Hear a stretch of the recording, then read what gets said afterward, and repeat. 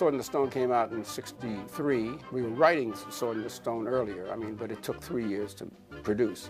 Well, we always start from not the words and not the music, but an idea. What is that about? And once we have a conception, then we discuss who's going to sing it, what year it's going to take place, uh, in what personality the voice will come. Uh, all these various uh, everything that goes into it. Ingredients are discussed long before any melodies or lyrics. And then we start saying, well, what's a good angle? What's a new angle? Because so many songs have been written, we try to come up with something that's a little different. That's why we invent words sometimes. Higitus figitus, migitus mum, prestidigitonium. Well, actually, uh, we had a need for magic. Merlin was going to have to move, and he wanted to take all of his equipment with him, his books and uh, his maps and all the things that he needed. And uh, stuck them all in one. In a little carpet bag, in a little suitcase, and uh, we didn't want to say abracadabra. That we just wanted to do different words. So how would he do this? You know, and the conversation was, well, he's British, you know, and uh, we have to have sort of a British-sounding magic, and also uh, it's sort of Latin because he's very into Latin and Greek and all that. So we came up with Higitus, Figitus. Because Higitus from Higginbottom, that sounded, you know, very British, and then Higitus, Figitus, Migitus, Mum, like you were declining some Latin. So it. Hicketus, figitus, migitus, mum, prestidigitonium. We're packing to leave, come on, let's go. Books are always first, you know. Oh, where was I, boy? Uh, hockety pockety? Oh, yes, yes, that's right. Diminish, diminish dictionary, that word's in your vocabulary. Hockety, pockety, walkety, whack. That's the way we've got to pack. Hicketus, figitus, migitus, mum, prestidigitonium. What a way to pack. I was practically given up for dead after a very traumatic experience that I'd had 15 years ago now, and uh, was unable to move. I had a stroke. I couldn't move. I was paralyzed, of course. I couldn't see. And after being discharged from the hospital, it was hard not to give up. But my wife, bless her soul, she and I had loved this lovely place before. I personally feel that you have to get out in the world and see people. You have to observe people. You have to watch what's going on and see in order to know what's funny about them. You have to argue with the insurance man. You have to argue with the salesman. Art was what I really liked.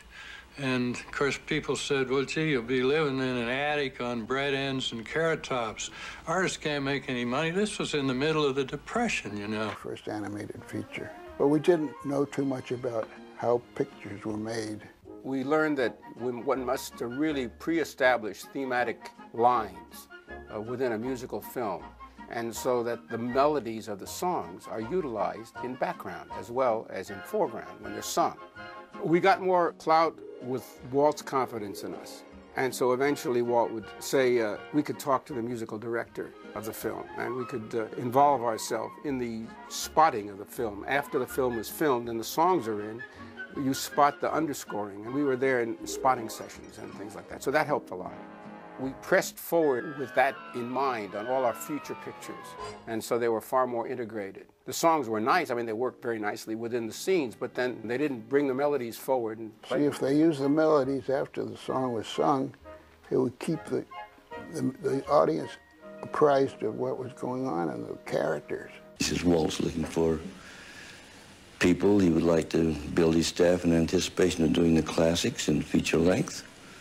And um, you are, in a way, a writer, and you're, in a way, an artist, and uh, you have some creative ability.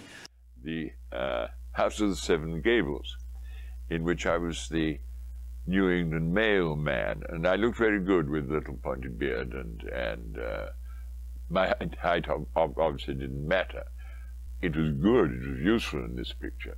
In opera, they call it leitmotifs. Characters' personality themes continue. In Poppins, you heard it all the time. Irwin Kostal, who did a great job on that. I mean, whenever Mary Poppins was there, you heard Spoonful of Sugar, and when Bert was there, you, you heard Chim Chim Cheree. I mean, these are things that you heard. I mean, just constant. And that's what we felt was missing in Sword in the Stone.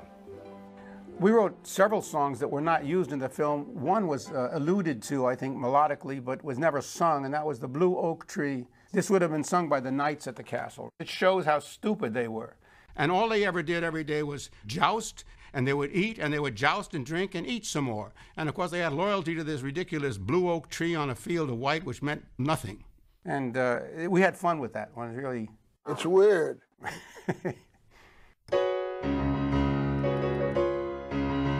to the blue oak tree on a field of white, we pledge our loyalty forever.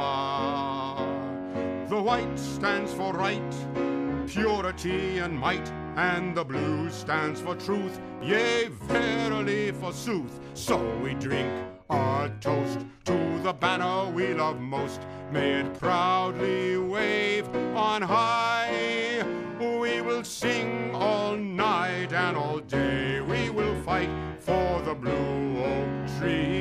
a field of white. For the blue oak tree on a field of white. Disney Studio to come back for a, a about a six weeks assignment, a writing assignment. And that six weeks stretched into 23 years. They had me tell it. They had me present it. You know? So I was the one who stood up with the pointer and, and, and told the story to Walt. Well, somehow that very act of standing up there and doing it and pointing out the story and telling it to Walt made you a story man. In everybody's eyes, maybe not in Walt's, but in everybody else's eyes.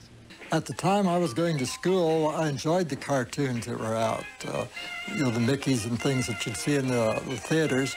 Uh, we liked them a, lot, but I never thought of that as a profession because it looked like, uh, well, you know, it, it, wasn't classy enough. I, I had ideas that I was going to be a, I was going to be an illustrator. I was going to be an industrial designer. I was going to design egg beaters.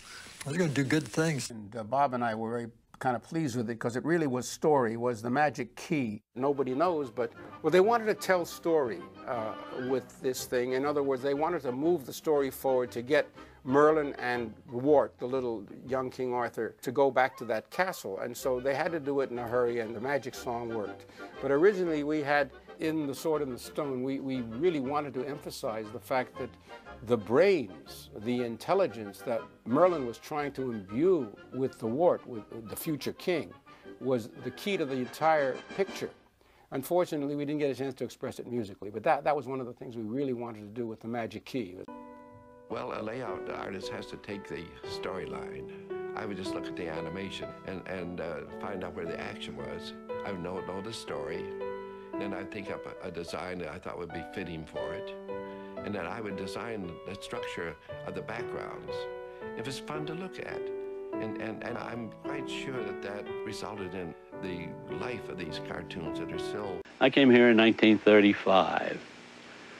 And then I retired a few years ago, but I, I'm working I'm working as much or there for a while, almost as much as when I was on staff all the time. A noggin full of knowledge is the magic key that nobody knows, but we do, don't we? We do. With a hey dum dairy and a dairy. Let me see. With a hey dum dairy and a dairy. Okay, I haven't played this in 40 years. Let's try one more time. Good that we have tape, right? This was never used. This has more meaning than higgidus, higgidus, miggidus, mum.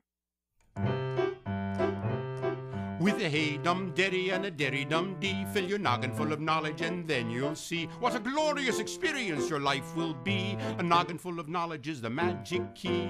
Magic key, magic key to what? The key to the doors to the future and past, or both be yours to explore at last. The greatest adventure of them all, you see. A noggin full of knowledge is the magic key. Magic key, derry dum dee, magic key, derry dum dee.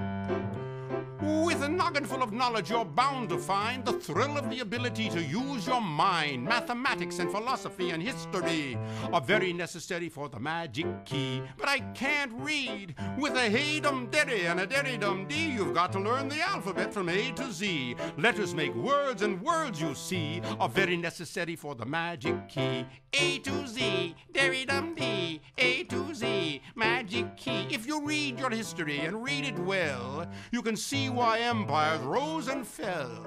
And if you learn the lessons of your history, yes, sir, you're possessor of the magic key. And it's a terrible thing, really. I don't want to get carried away by, but if you have absolutely no control over your body, you don't know what to talk, what to think about to make something move, uh, it's a terrible situation. Somehow or other, these trees inspired me. Uh, just as a musician or just as an actor or just as something else. The fascinating thing about animation was it gave me a chance to use all of these interests, uh, work them together, and they all helped each other. But I was very fortunate to be at the right place at the right time and to be able to live this kind of a life. Walt wasn't a man, he was a force of nature. And that's about it, too. But anyway, she said in that last scene that I did where uh, Baloo and Bagheera dance off into the sunset, she says, you know, that's just the way Walt went off. He went off into the sunset, just like that, and there he's gone. 37 years since we tossed it out of the movie. Sword in the Stone was a wonderful experience for us, and we certainly learned so much from it, and it really led to our future successes with such Disney classics as Poppins and Jungle Book and the Winnie the Pooh series and the Tigger movie.